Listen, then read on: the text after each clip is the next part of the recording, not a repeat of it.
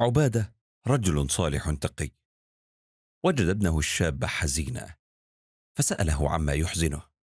فأخبره بأنهم ما زالوا فقراء ولا يملكون إلا القليل.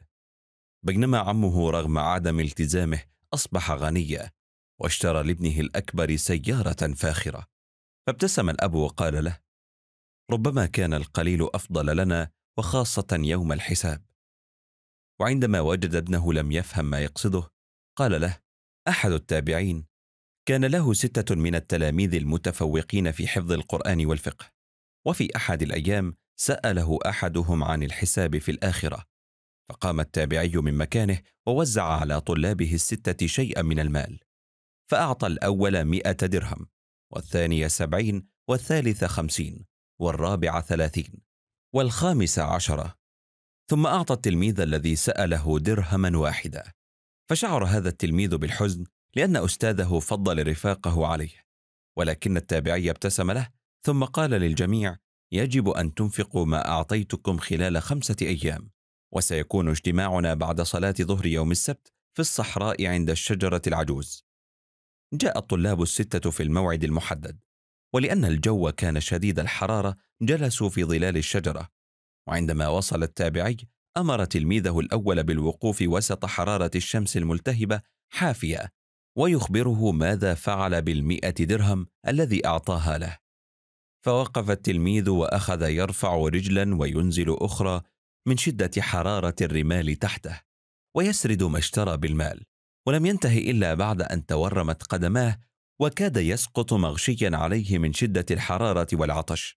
ثم عاد إلى ظل الشجرة ووقف مكانه التلميذ الثاني حافية ليخبره ماذا فعل بما أخذ. وهكذا حتى وصل للتلميذ السادس الذي لم يأخذ سوى درهما واحدا. فوقف وقال خلال ثوان اشتريت رغيف خبز. ثم عاد إلى ظل الشجرة دون أن يشعر بحرارة الشمس والرمال ووقف أمام التابعي فرحا.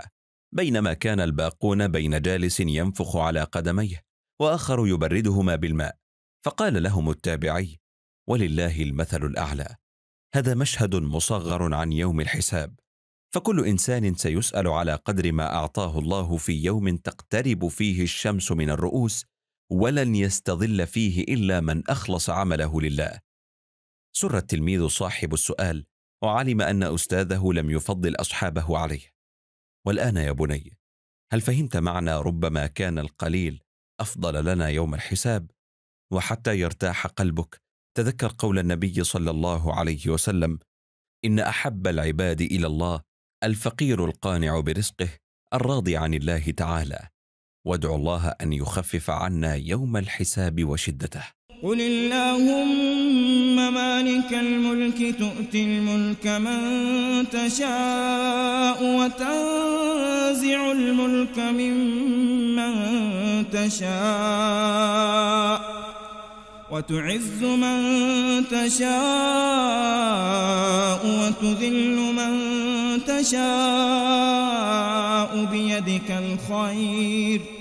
إنك على كل شيء قدير. تولج الليل في النهار وتولج النهار في الليل. وتخرج الحي من الميت وتخرج الميت من الحي وترزق من تشاء بغير حساب. طالب جامعي على خلق ودين. والده من الأثرياء وذو منصب مرموق. إلا أن هذا الطالب لم يخبر أحدا في الجامعة بثراء أبيه أو منصبه ليعيش بين زملائه ومع أساتذته على طبيعته وبساطته.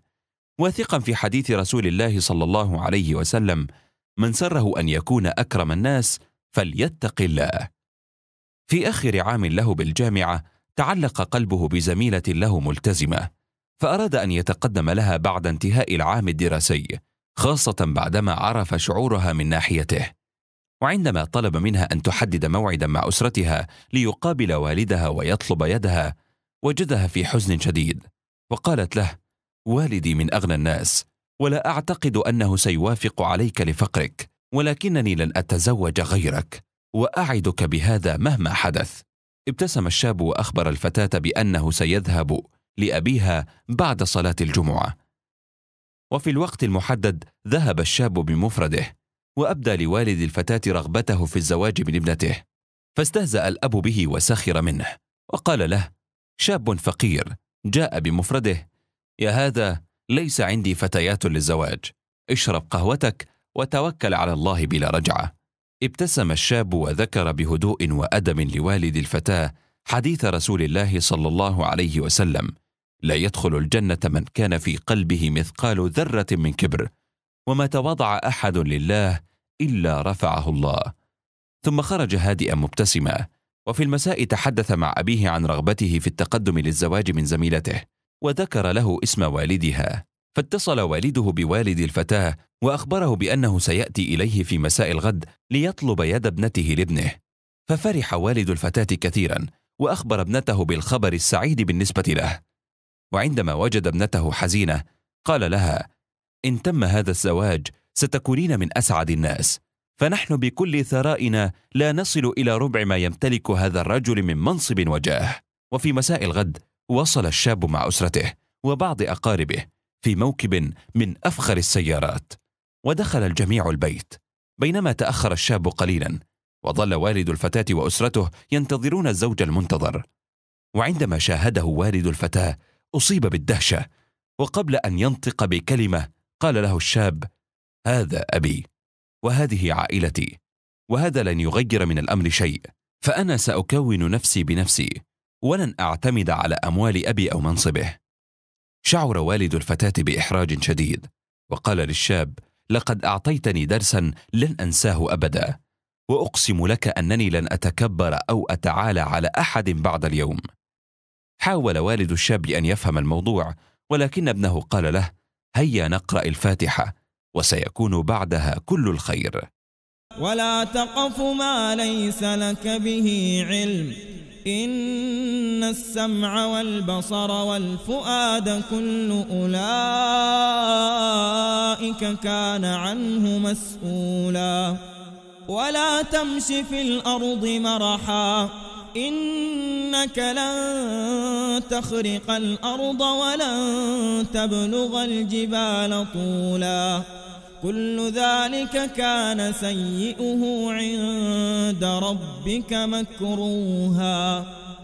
ذلك مما أوحى إليك ربك من الحكمة. ولا تجعل مع الله إلها آخر فتلقى في جهنم ملوما مدحورا.